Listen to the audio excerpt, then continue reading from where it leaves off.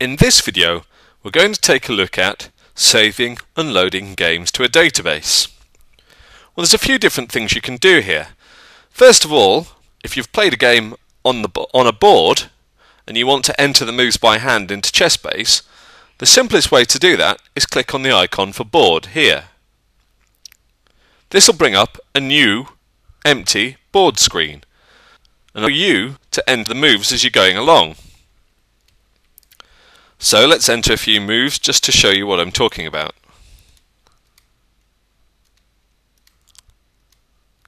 Okay, so that's the first uh, three moves of a game, but at least give you an idea of what I'm talking about. So let's go to the application menu and here to the option to save. There's also an option to save game save game as. In this case it won't matter which one you do. It'll bring up the familiar Windows Explorer window and ask you which database you want to save it to.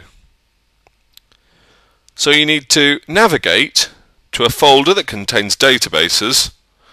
It should start you at your ChessBase database folder specified during installation. So in this case, we'll save the game to our autosave database.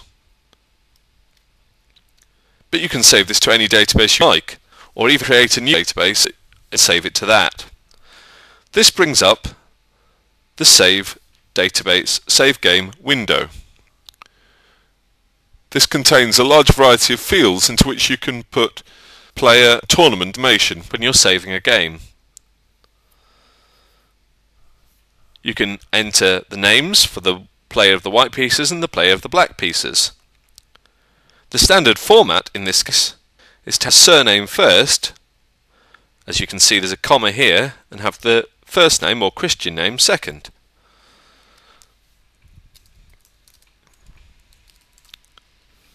You can for the play of the black pieces you can put in details of the tournament.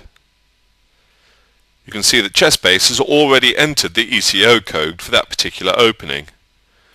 You can enter white and black play ratings, the round, and if the tournament has a sub-round system, you can enter that here too. You can enter the result and even the date. If you've annotated the game, you can enter that information here. And the tournament details, there's a lot more information if you click the details button here. Now, how much information do you need to put into this screen? Well, the simple answer is as much you want. There's such thing as too much information.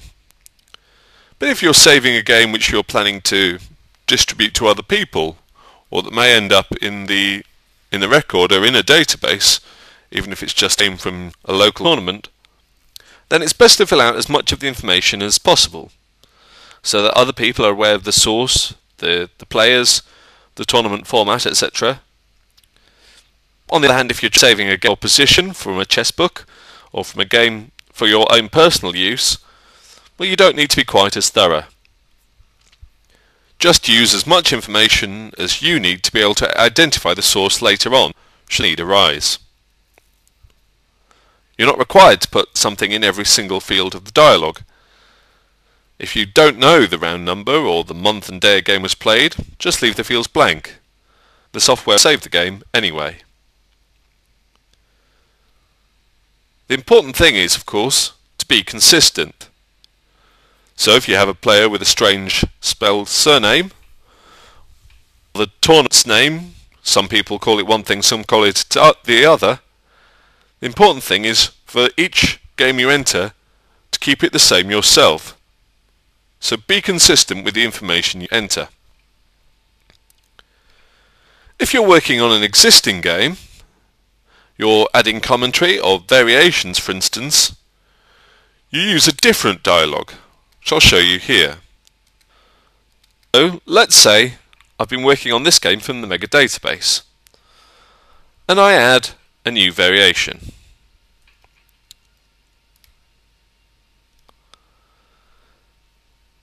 If we want to overwrite the game and keep the variation, you can go to Replace, which is under the Save menu.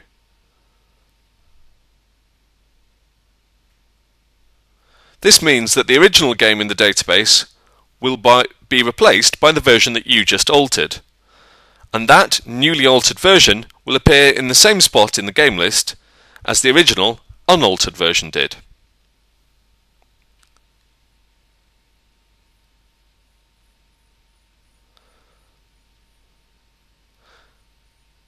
If you're saving the game in different database, you go to Save Game As. This opens up the window. The Explorer window we looked at earlier, and from here you can choose all the different databases on your machine and save it into any one you like.